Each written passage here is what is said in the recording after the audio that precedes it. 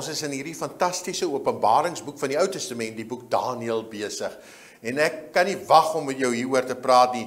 Verlede keer Daniël 1 en nou Daniël 2. As jy Daniël 1 gemis het, kry gerus die notas by my. Stuur vir my net so 'n WhatsApp Daniël en ek stuur vir jou dit per WhatsApp aan. Maar Daniël 2 praat oor 'n profesie, 'n droom van die koning, die grootste wêreldheerser van sy tyd Nebukadneser en dit vertel van 'n droom wat 'n betekenis het wat oor die ganse tyd van Nebukadneser af afspeel tot in die duisendjarige vrederyk.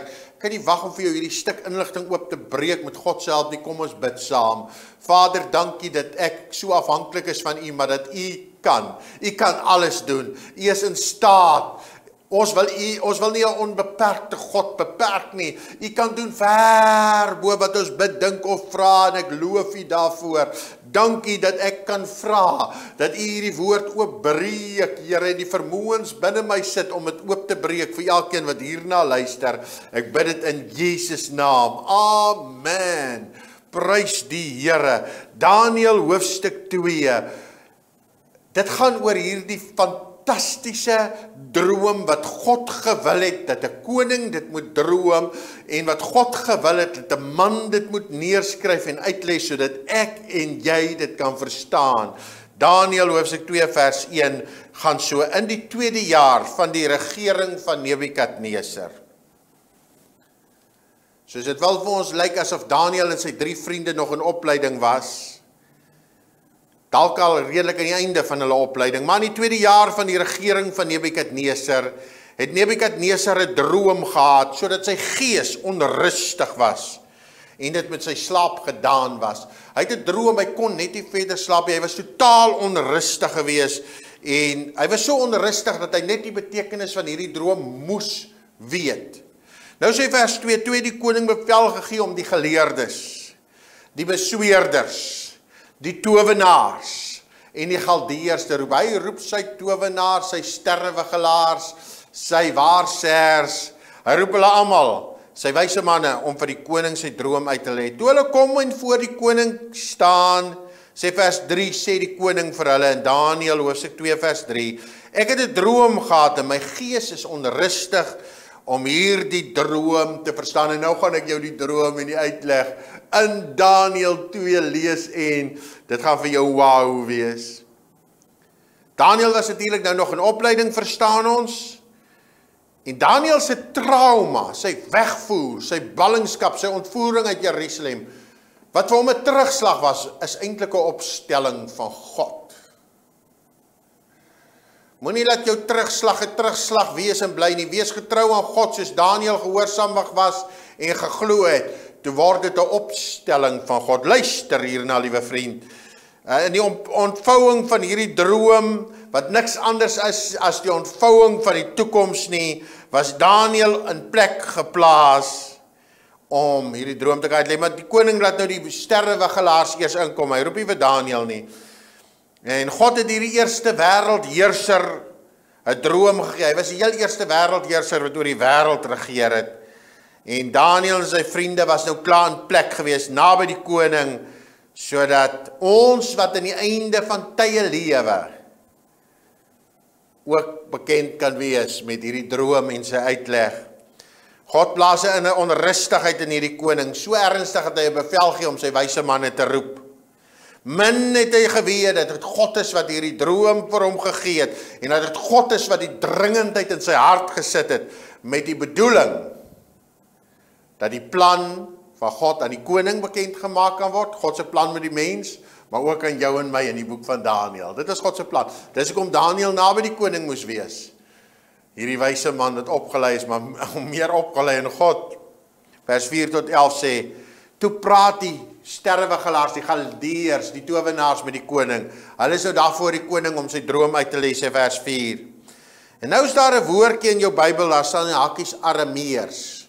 Dit beteken dat tot hiertoe is jou Bybel aanvanklik in Hebreëus geskryf, maar van hier af is uh die boek Daniël, die eerste hoofstuk is in Hebreëus geskryf. Van hoofstuk 2 af is dit in 'n heidense taal Aramees geskryf tot aan die einde van hoofstuk 7. Waarom is dit so? Dis nie toevallig nie. Want hoofstuk 2 tot 7 handel oor die heidense wêrelde wat regeer oor Israel. En daarom is dit in 'n heidense taal geskryf in Aramees, die taal wat Daniël geleer het in Babel. Maar van hoofstuk 8 tot 12 is weer geskryf in Hebreëus. In die oorspronklike taal. Dit beteken net dat dit handel oor die handelinge van God met die Jode tot in die duisendjarige vrederyk. Woah, jy gaan baie leer. Ek kan nie wag om dit met jou te deel nie. Nou, vers 5. So, eers vers 4, hierdie slim mense, die galdeers, die towenaars en daai mense sê mag die koning altyd lewe. Vertel die droom o koning en ons sal die uitlegging gee. Ha, die koning sê, "Ah, ah." Hy sê, "Die saak staan by my vas as julle my nie my droom en my uitlegging vertel nie. Sal ek julle in stukke kap en van julle huise mishope gemaak word." Wow, wat 'n opdrag. Hulle moet die droom en die uitleg vertel. Die koning sê ek gaan nie my droom vertel nie. Julle moet vir my sê wat ek gedroom het. As julle my nie die droom en die uitleg gee nie, sal julle as julle my die droom en die uitleg gee, dan gaan ek vir julle geskenke en gawes en groot eer gee. Uh omdat julle vir my die droom en die uitleg te kenne gee, maar vers 7 sê, hulle het vir die tweede maal gesê, laat die koning die droom gee, ons sal die uitleg gee. Die koning het geantwoord en gesê, "Ah, ah Ek weet verseker dat julle tyd wil wen omdat julle sien dat die saak by my vas staan. As julle my nie die droom gee nie, is julle vonnis een en dieselfde nie. Julle het afgespreek om vir my 'n leenagtige, bedrieglike woord voor my te spreek totdat die tyd weer verander. Vertel my die droom, dan weet ek of julle vir my die uitleg kan gee. Die Galdeërs het die koning geantwoord en gesê: "Daar's geen mens op die aarde wat die koning se saak sou kon te kenne gee nie." Daarom het geen koning ooit van tevore groot of magtig ooit so iets van enige geleerde of besweerde of galdeer verlang nie. Ja, die saak wat die koning verlang sê hierdie geleerdes, hierdie galdeers towenaars is swaar. Daar is niemand anders wat dit voor die koning sou te kenne gee nie. Niemand kan jou help nie behalwe die gode. Ha. Wat hierdie verhaal uitsonderlik maak, niemand het ooit so 'n versoek gehad nie. 'n Droom en 'n uitleg, jy moet die droom gee en die uitleg. Maar wat dit besonders maak is dat niemand kan dit doen nie. Want God het geweet dit moet so wees want anders sou die galdeërs die towenaars 'n storie uitgedink het om die koning te bedrieg en God wou gehad het Daniel moet dit uitlê want God self wil die uitleg gee sodat dit in jou Bybel kan wees. Daniel is opgestel. He is propelled into destiny. Hy is in sy bestemming geplaas. Sodat ek en jy kan weet wat aan die einde van tye gaan gebeur. Nou sê vers 12 en 13, toe die koning baie uit woedend geraak, hy het kwaad geword. Hy was baie kwaad, hy toornig geword en hy het bevel gegee om die wyse manne van Babel om te bring. Hy wil nou sy towenaars almal doodmaak. Toe die bevel uitgevaardig is en die wyse manne gedood sou word, het hulle ook Daniël en sy metgeselle gesoek. Hulle wil toe vir Daniël ook doodmaak. En uh Maar Daniël en sy vriende was eens teenwoordig voor die koning. Die Daniël is salig onbewus, hy's van geen sout of water of van niks bewus nie. Uh en ek glo dis maar omdat hulle nog in hulle 3 jaar opleiding was. Nou sê vers 14, daarop het Daniël aan die man wat hulle nou kom doodmaak aan Ariog gesê hy het 'n slim antwoord gegee want Daniël was 'n slim man. Hy antwoord en sê vir Ariog, die bevelhebber van die koning: Waarom is die bevel van die kant dan van die koning se kant dan so streng? Toe sê Ariog vir Daniël die saak en Daniël het ingegaan na die koning en hom sy versoek meegedeel en Daniël gaan na die koning en hy dat hy hom nog tyd moet vra. Toe gaan Daniël sê vers 17 na sy huis. En hy sê vir Anania vir sy drie vriende Anania, Misael en Asaria sy metgeselle die saak. Hy vertel vir hulle wat die storie is. Hy Daniël het self nou vir die koning gevra. En toe begin hulle te bid sê vers 18 dat hulle barmhartigheid van God van die hemel af gesmeek oor hierdie geheim sodat hulle Daniël en sy metgeselle saam met die ander wyse manne nie kan ombring nie. Daniël was 'n slim man. Hy het nie gestry nie, hy het nie geredeneer nie, hy was nie arrogant nie. Hy het uitstel gevra want hy het geweet daar's krag in gebed. As jy in geloof tot God nader, sal God jou antwoord. Daniël het in God sy geloof gesit. Hy het nie gestry met mense nie. En toe gee God hom ook die antwoord. Gebed word mos beloon. En God deel hom die droom en die uitleg bekend. Kom ek lees dit vir u, vers 19. Daarop in 'n naggesig is die geheim aan Daniël openbaar. Toe het Daniël die God van die hemel geloof en Daniël het gespreek en gesê mag die naam van God geprys word. En jy kan dit lees vers 21 vers 22 vers 23 dat God konings aanstel. Hy stel hulle af en Daniël loof die Here. En nou gaan Daniël met hierdie droom en met die uitleg gaan hy na die koning toe. Hy stap nou na die koning toe. Vers 24 daarop het Daniël eers na die leeroowerste toe gegaan. Uh en hy het vir hom gesê moenie die wyse manne doodmaak nie. Bring my na die koning toe, ek sal vir die koning sê wat dit beteken. En hierdie leeroowerste die die man wat die koning aangestel het, vat gou vir Daniël na die koning toe en die koning sê Daniël, is jy in staat om die droom uit te lê? Daniël het in die teenwoordigheid van die koning in vers 27 geantwoord: "Die geheim o koning waarna jy vra, kan geen wyse man, besweerder, geleerde, waarsêer kan dit te kenne gee nie. Maar daar's 'n God in die hemel wat geheime openbaar. En liewe koning, hy het aan u o koning Nebukadnesar bekend gemaak wat aan die einde van dae moet gebeur. U droom en die gesig in u hoof op die bed was dit en hy vertel vir die koning sy droom. Hy sê en wat nie betref o koning, u gedagtes op die bed het opgesig oor wat hierna sal gebeur. U het gedink oor wat hier wat gaan gebeur. En die openbaarder van geheime het u bekend gemaak. Daarom, liewe vriend, is Daniël is 'n oopmaak van wat na Nebukadneser, van Nebukadneser tot by die anti-kris gaan gebeur. En wat my betref sê Daniël, hierdie geheim is my nie geopenbaar deur 'n wysheid wat in my sou wees nie, meer as enigiemand anders nie, maar die doel hoekom God dit aan my gegee het, was dat u moet weet wat dit beteken en sodat ek en jy natuurlik ook kan weet wat dit beteken. En daar's geen grootheidswaan in Daniël nie. Hy gee aan God die eer. En kom ek lees die droom. Hier's die droom. U koning het 'n gesig gehad. Kyk, daar was 'n groot beeld. Hierdie beeld was hoog en sy glans was buitengewoon. Dit het voor u gestaan en sy voorkoms was vreeslik. Wat die beeld betref, hier's die beeld. Sy hoof was van goud.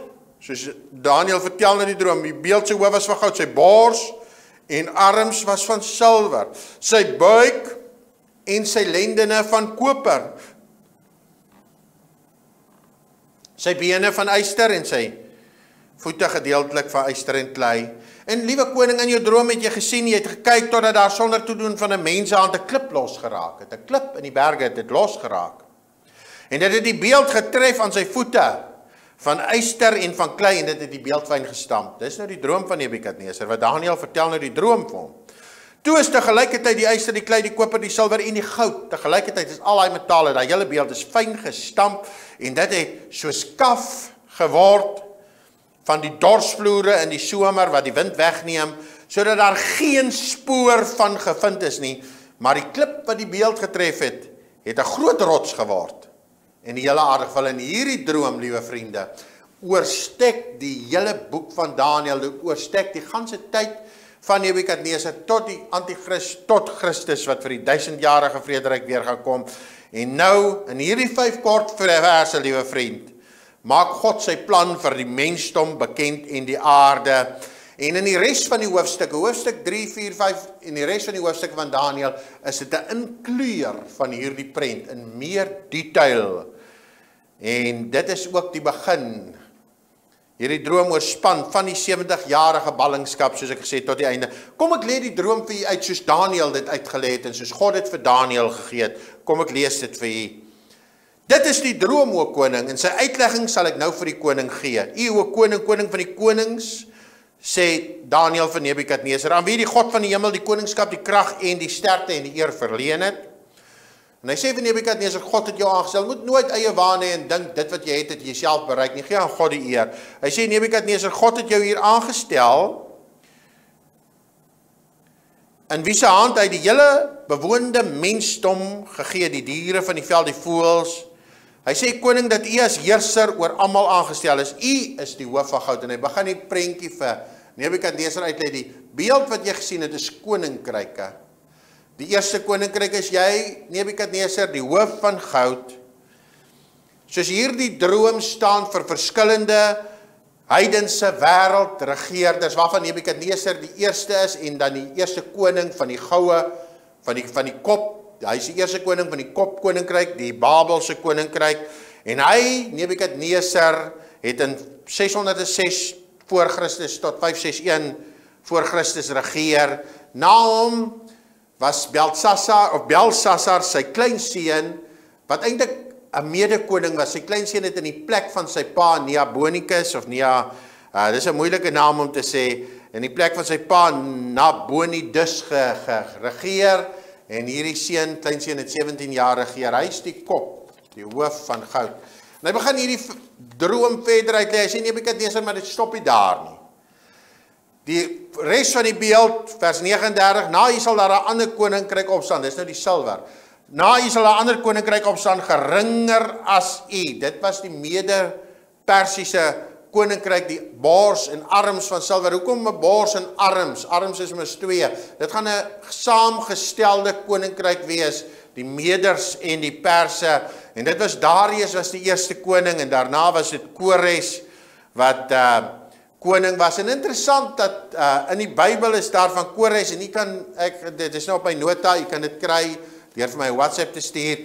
Kores se bestaan is meer as 100 jaar voor sy geboorte deur Jesaja geprofeteer en Kores is by die naam deur Jesaja genoem dat hy sal regeer. Baie interessant.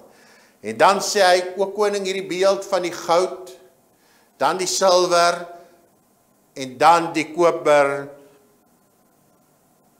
Werk so die derde wêreldkoninkryk wat sal regeer is koper, dis die Griekse ryk en jy weet mos van Alexander die Grote wat regeer het. Vir Daniël was dit profesie. Vir ons aan hierdie kant is dit geskiedenis. Hy sê die derde ryk gaan van koper wees. En ons weet vandag dat dit die Grieke was wat regeer het En dis nog 'n minder duursame metaal want dit is 'n koninkryk wat minder aansien gehad het as silwer en die silwer het minder aansien as goud. Waarom minder duursame metaal want dit was 'n minder in aansien koninkryk as die voriges. Alexander die Grote was deel van die koper koninkryk en na hom was dit sy vier generaals en dan 'n man wat 'n vreeslike godlonaar was Antiochus Epiphanes, 'n verskriklike wreedaard was deel van hierdie koper koninkryke gewees. Ons Nuwe Testament, liewe vriend, is in Grieks geskryf. En hierdie derde koninkryk is die Griekse koninkryk Alexander die Grote. Ons Nuwe Testament is in Grieks geskryf. My het nie geweet dat ons Ou Testament is voor die geboorte van Jesus al na Grieks vertaal. God het hierdie koninkryke in plek gesit sodat wanneer Jesus op die toneel sou verskyn, dat dit maklik is een wêreldtaal oor die hele wêreld is gepraat Grieks. Hulle kon geëvangeliseer het. God het hierdie Griekse koninkryk daar geplaas want hulle wou die wêreld vergrieks het. Sodat dit maklik kan wees. Waar Paulus ook al gepreek het, kon almal hom verstaan want Grieks was die wêreldtaal. Maar nou sê hy ook koning die vierde deel van jou droom is die bene van yster en klei. Dis die Romeinse koninkryk waarvan die Bybel ons vertel. Jy kan selfs die verse lees vers 40 tot 43. En die feit dat yster hard is, beteken dit hierdie gaan 'n wrede koninkryk wees. Harde onderdrukking en hierdie vierde element yster en klei sluit ook die komende anti-kris in as ek dit so kan sê. Wat 'n verval van goud na modder, van goud na klei. Wat 'n verval, morele verval. Dis maar die verval van die mensdom. En die Romeine het paaie gebou 400 Dink daaraan 400 000 km paaie het die Romeine gebou voor Christus se geboorte. Daar was beskermde seeroetes. God het also beplan sodat wanneer Christus sou kom, dat daar paaie is vir die evangeliste, vir die sendelinge, vir Paulus op die see reis. Daar was selfs een geldstelsel oor die hele wêreld. En nou sê hy jy het gedroom en vriende hierdie droom moet ons verstaan want dit oorspan tyd en gaan tot in ewigheid. Jy moet dit verstaan om 'n goeie uitleer van die Bybel ten minste vir jouself te wees. Hy sê jy het gesien 'n rots wat losraak in vers 44. Hy sê maar in die dae van hierdie konings terwyl hierdie konings nog staan, gaan daar 'n rots losraak. Wat in ewigheid nie ver, uh, gebreek kan word nie. En soos jy gesien het dat sonder toedoen van 'n mens aan 'n klip van die berg af los geraak het wat die ysterklei en al die metale verwoes het, so sal die grootte God 'n koning bekend maak wat het die het die grootte God aan die bekend gemaak dat daar 'n koninkryk gaan kom wat vir ewig en ewig en ewig sal heers. Hy gaan die vorige koninkryke tot nul maak. En ons weet dat hierdie rots is niemand anders as Christus nie. Daardie rots het reeds losgebreek op Golgotha, maar daar kom 'n tyd wat hy uit die berge gaan beginne rol op hierdie aarde gaan tref en 'n einde gaan maak aan die koninkryke van hierdie wêreld en Christus gaan vir ewig regeer. Elke knie sal buig en elke tong sal bely dat Christus is die Here. Dit gaan gebeur by sy wederkoms en die laaste koning, die anti-kris gaan verwoes word want hy's die laaste koning van hierdie eyster en klei koninkryk en Daniël lê dit vir die koning so uit en hy begin dit vir hom te verduidelik ag ek kan net nie alles op my nota vir jou gee nie dis te kosbaar is te veel jy moet dit maar vir my vra met 'n WhatsApp en Nebukadneser val neer en hy begin te aanbid hy aanbid God maar alhoewel hy God aanbid het hy hom nog nie sy saligmaker gemaak nie Eindelik aanbid hy nog nie tot God. Hy herken maar net dat God die allerhoogste is. En vriende, in ons volgende lesing gaan ek met jou praat oor hierdie Nebukadneser wat nog nie sy les geleer het nie. Hy ja, hy het nog nie sy les geleer nie. Hy gaan nou nader kennis maak met die lewende God. En hy gaan nog nader agterkom dat God God is en vir ewig heers en die konings aanstel en afstel en ook in ons tyd moet ons versigtig wees oor ons uitsprake want God is almagtig in beheer. Ek kan nie wag om met jou oor hoofstuk 2 te praat nie. Dit vertel van hierdie beeld wat die koning toe gebou het. Want die koning is toe arrogant. Hy wou hy het gedink, hy wou gesê het, ek dink hy het gedink dat nee sy koninkryk gaan ewig heers en God buig hom mooi neer van hierdie koning Nebukadneser. Kan nie wag om hoofstuk 2 met jou te deel nie. Mag God jou ryklik seën en as dit in jou hart is om hierdie bediening van ons te ondersteun, hierdie pogings van ons, stuur vir my die woordjie ondersteun. WhatsApp net die woordjie ondersteun en ek stuur vir jou die detail. Mag God jou ryklik seën. Uh tot volgende keer. I love you all. Jy's kosbaar vir Jesus. Bye.